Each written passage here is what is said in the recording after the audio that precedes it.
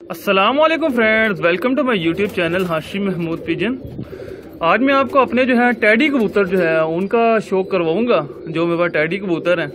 अब मैं आज आपको वो सिलेक्टिव दिखाऊँगा कि मेरे पास टैडी कबूतर किस तरह के पड़े हुए हैं। कुछ थोड़े से पीस पड़े हुए हैं, पर जो पड़े हुए हैं वो मैं आपको दिखाऊँगा। ये देखें जी, इसने आँख खुद ही क्लियर कर ली है। ये इसकी आँख है। ये आप गौर कर सकते हैं। आँख का आपको रिंग नज़र आ रहा है। तो इसकी पलक नज़र आ रही है। देखें जी क्या खूबसूरत इसकी आँख है।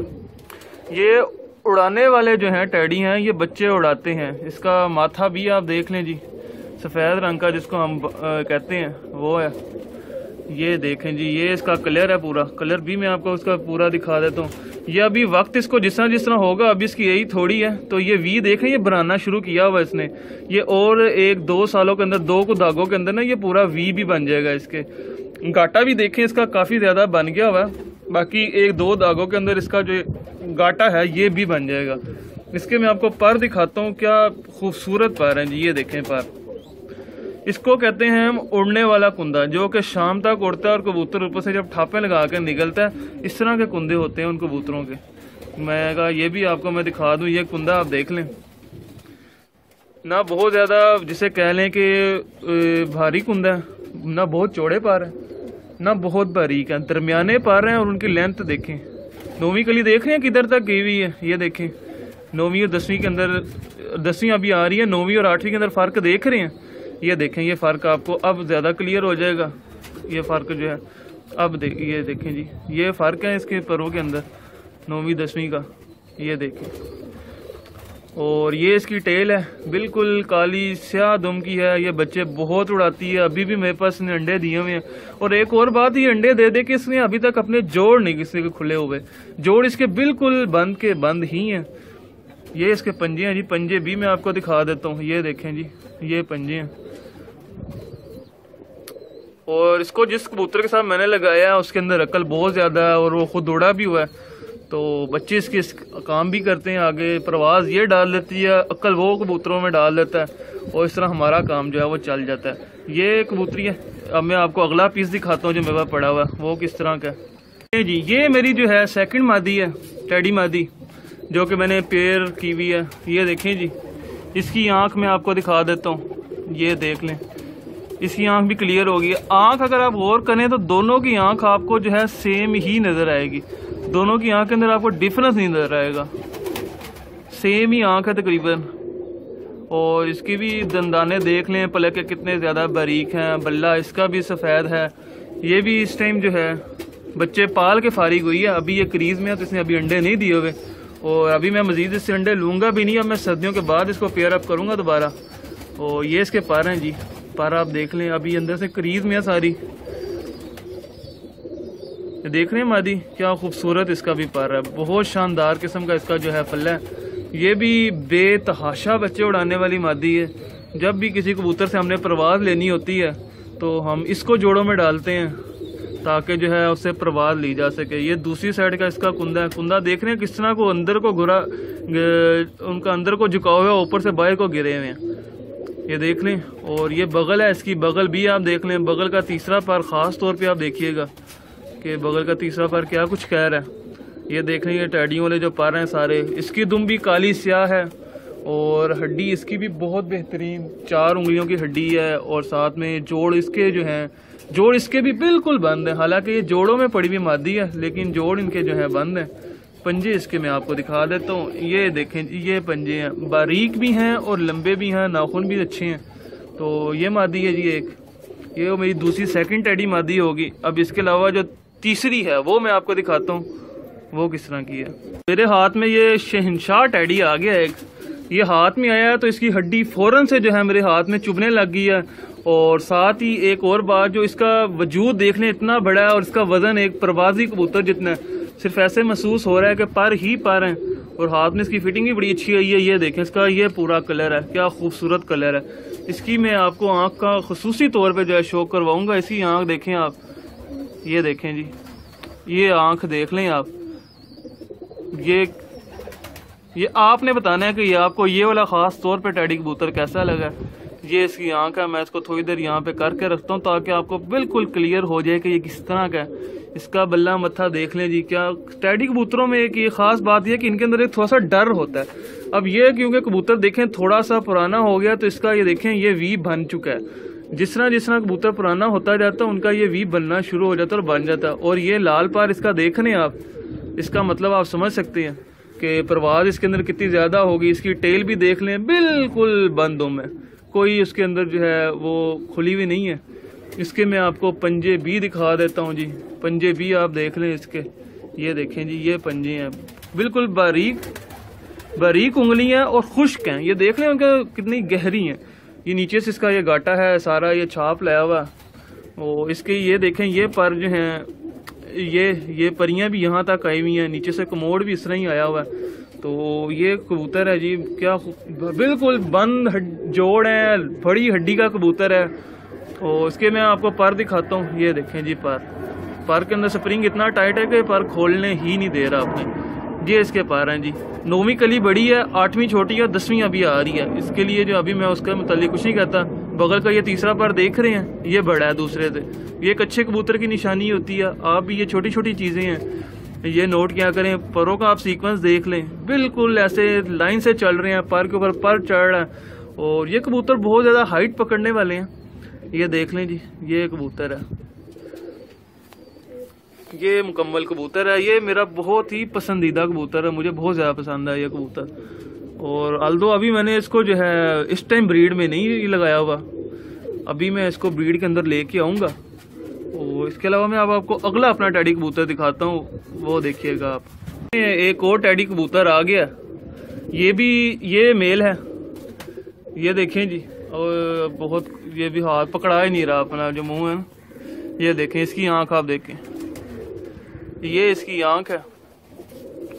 और ये इसके जो है, बाकी ये पर वगैरह हैं। बाकी कबूतर ये पूरा कबूतर है, जिसका भी काटा देख लें। अभी ये भी एक साल का कबूतर है, इसके पर आप देखें। ये इसके पर हैं जी। पर देख रहे हैं आप किस तरह चौड़े और क्या खूबसूरत लेंथ है परों की। इसका मैंने अभी तक बच्चा कोई छोड़ के टेस्ट नहीं किया। इसके लिए अभी मैं आपको जो है ना, इसके बच्चों के मतलब नहीं बता सकता कि वो क्या है और क्या नहीं है। जब मैं छोड़ूँगा टेस्ट करूँगा तो फिर मैं उसके मतलब बात करूँगा। बाकी इसके भी हड्डी जोड़ बिल्कुल परफेक्ट और ये इसके पंजे हैं। पंजे देख लें जी, किस कदर खुश्क हैं। ये मैं बच्चा ख़रीद के लाया था किसी पिछले साल। और ये इसके पंजे हैं जी। ये देख लें। ये पूरा कबूतर है। ये झोले में चला गया था। इसको बड़ा शदीद झोला हो गया था। इसके साथ एक मादी भी थी। और मादी जो मैंने कहा था, इनका आपस में पेयर लगाऊँगा। तो मादी जो है, वो मर गई थी और ये इसको बड़ा शदीद झोला हो गया था। फिर मैंने इसका इलाज किया झोले का और कोई दो माह के इलाज के बाद जो है ना, ये खुद से खाने लग गया। इसका फिर मैंने इलाज जारी रखा। दो माह इसको मैं हाथों से खिलाता रहूँ अपने। उसके बाद फिर जो है, अल्लाह का करम ऐसा हुआ कि ये बिल्कुल ठीक हो गया। और अब इसको कोई देख के ये नहीं कह सकता कि ये वही कबूतर है जिसको कभी ज़िंदगी में झोला हुआ हुआ है ये झोले में से निकला हुआ है। लेकिन अब इस टाइम बिल्कुल परफेक्ट है। खुद खाता, पीता, उड़ता ठापे मारता है। कोई जिसको कहते हैं ना हंड्रेड परसेंट ठीक होना। कोई एक नाइन्टी नाइन भी नहीं हंड्रेड परसेंट ये ठीक हो चुका है। कोई एक परसेंट भी इसके अंदर अब वो जोले वाली जो है ना, वो क्वालिटी वो चीज़ नहीं रही कि ये कबूतर जो है उस तरह से कोई करता हो। तो ये कबूतर है। इसका वज़न भी जो है ना, बिल्कुल बहुत थोड़ा सा मामूली सा वज़न है। अब मैं आपको इसके अलावा एक और दिखाता हूँ, अगला कबूतर। ले लें दोस्तों, मेरे हाथ में एक और टैडी कबूतर आ गया। इसकी आप आँख देखें, इस कबूतर की भी एक बहुत ज़्यादा जो है हिस्ट्री है। वो मैं आपको बता देता हूँ वो भी ये इसकी आँख है जी। ये आप आँख का शौक करें। ये कबूतर जो है मेरे पास, मेरा जो मैंने पहले जिस छत पे कबूतर रखे हुए थे, बिल्कुल सामने ही छत है, उस पर मैंने कबूतर रखे हुए थे। उसके अंदर ये कबूतर दो साल रहा और दो साल में जो है, ये सिर्फ़ जाल के अंदर जो है टकरे मारता रहता था। इसके आप ये पर देखें। ये जाल के अंदर टकरे मारता रहता था और जाल से जो है नीचे आता था दो दिनों के बाद।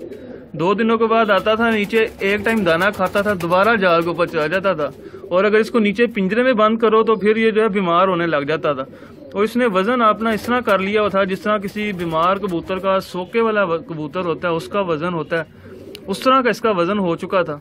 तो वहाँ पे ना इसका मुझे ये पता लग रहा था कि ये नर है, ना ये पता लग रहा था कि ये मादी है।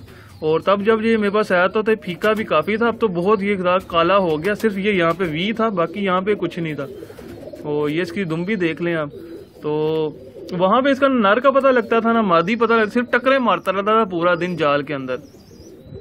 जिस तरह ही मैंने जो है शिफ्ट किया कबूतर अपने, बिल्कुल ये सामने वाली छत पे मैंने शिफ्ट किया जहाँ पे अब मैंने रखे हुए हैं। तो वेरी फ़र्स्ट डे मैंने यूँ पिंजरे के अंदर इसको छोड़ा और छोड़ने के दो मिनट गुजरे हैं तो इसने गुड़कना शुरू कर दिया फट्टी के ऊपर।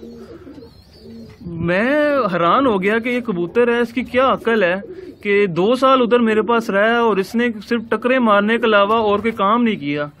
दो दिन बाद नीचे आके दाना खाता था, फिर ऊपर चला जाता था। इन्हें सर्दियाँ, गर्मियाँ जाल के ऊपर ही गुजारी हैं, ये पिंजरे में नहीं गया।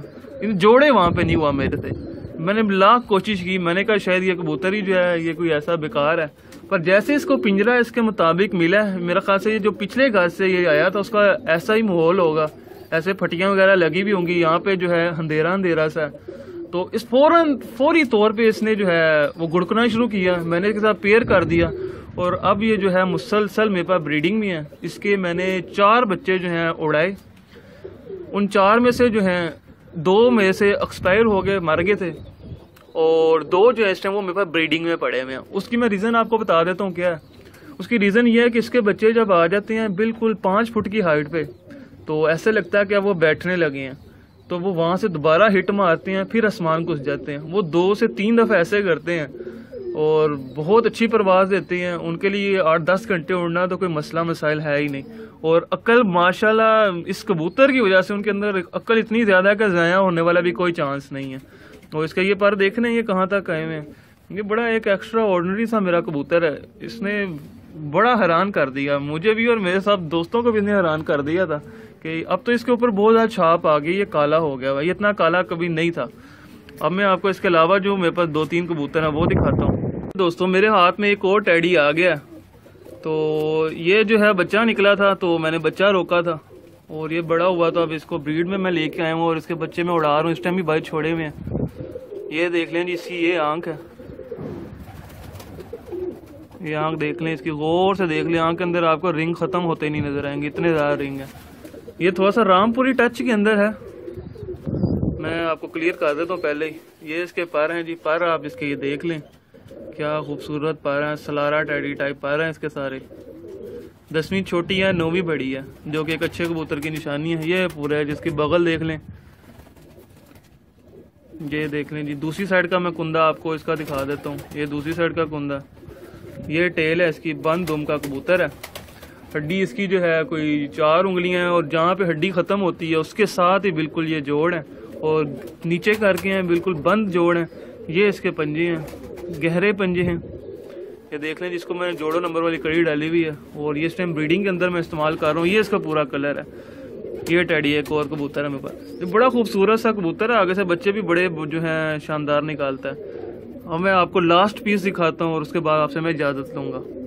लें जी, ये कबूतर है जो मैं आपको लास्ट में आखिरी दिखाने लगा ये कबूतर जो है, ये आपको टैडी कम और रामपुरी ज़्यादा लगेगा। तो आपने बताना भी इसके मतलब इस कबूतर के अंदर कौन सा पर ज़्यादा है। ठीक है? मेरे मुताबिक रामपुरी इसके अंदर ज़रा ज़्यादा है। ये इसकी आँख देख लें आप। इसको मैंने एक चिपड़ी मादी के साथ इस टाइम लगाया हुआ और बच्चे शानदार किस्म के उड़ रहे हैं। मैं आपको किसी ने उसकी इसकी मादी और इसका दोबारा से भी शो करवा दूँगा। और मादी में आपको दिखाऊँगा साथ में कि मैंने कैसी लगाई हुई इसका वज़न भी नहीं है। हाथ में इतना भारी लग रहा है कि बहुत भारी होगा कबूतर, इतना वज़न होगा, लेकिन इसका वज़न कुछ भी नहीं है। बिल्कुल कोई वज़न है ही नहीं। ये इसके आप पर हैं जी। पर भी देख लें आप। पर देख रहे हैं अंदर की तरफ़ को गिरे हुए क्या शानदार किस्म के पर। ये दूसरी तरफ़ का कुंदा है, वो भी मैं आपको दिखा देता हूँ। इसकी दसवीं बड़ी है, फिर नौवीं है, फिर आठवीं है। इसमें इस तरतीब से पर हैं इसके। और एक और बहुत स्पेशल ये लाल पर देख रहे हैं आप? ये लाल पर। ये भी आप देख लें। ये बंद दुम का है। और इसके बच्चे भी मैंने उड़ाए हैं। प्योरिटी में नहीं उड़े, जो सही बात है। जब इसको मैंने बिल्कुल टैडी के साथ ही मैच कर दिया तो नहीं उड़े। लेकिन जैसे ही मैंने इसको चपड़े के साथ क्रॉस किया तो बच्चों ने तबाही उतार दिया बहुत उड़ते हैं। मेरे दोस्त की छत पे भी बहुत उड़े और अब मैंने भी छोड़े हुए तो ये देख लें जी, ये इसके पंजे हैं। ये पूरा कबूतर है। बड़ा मेरा फेवरेट कबूतर है। ये भी जब मेरे पास आया था, आज से कोई ये मेरे साथ छः साल पुराना कबूतर है तो ये इसकी ये छाप वगैरह नहीं थी। कलसीरा कलदुम्बा कबूतर है सिंपल ये बाद में इतना गहरा हुआ और आप ये देख लें, इसका ये देख रहे हैं सामने से ये गाटा मैं आपको दिखाता हूँ। ये देखें, ये पूरा काला कर गया हुआ है। ये ऐसा बिल्कुल भी नहीं था। ये वक्त के साथ साथ जो है कबूतर गहरे होते हैं और ये भी हुआ है। तो आपने मुझे बताना है कि आपको ये मेरे टैडी कबूतर जो है, ये मेरी काविश आपको कैसी लगी है? मेरे पास अभी और भी पीस पड़े हुए हैं, लेकिन वीडियो बहुत ज़्यादा लंबी हो जाएगी, वो मैं आपको किसी आने वाली वीडियो के अंदर जो है वो दिखा दूँगा, वो बाकी पीस तो आपको अगर ये कबूतर अच्छे लगे हैं तो आपने मुझे कमेंट में बताना है कि आपको इनमें से कौन सा कबूतर अच्छा लगा। अगर अभी तक आपने मेरे चैनल को सब्सक्राइब नहीं किया तो चैनल को सब्सक्राइब कर लें और साथ में बेल आइकन को पर क्लिक कर लें ताकि मेरी हर नई आने वाली वीडियो का जो नोटिफिकेशन है, वो आपको मिल सके। Thank you very much for watching this video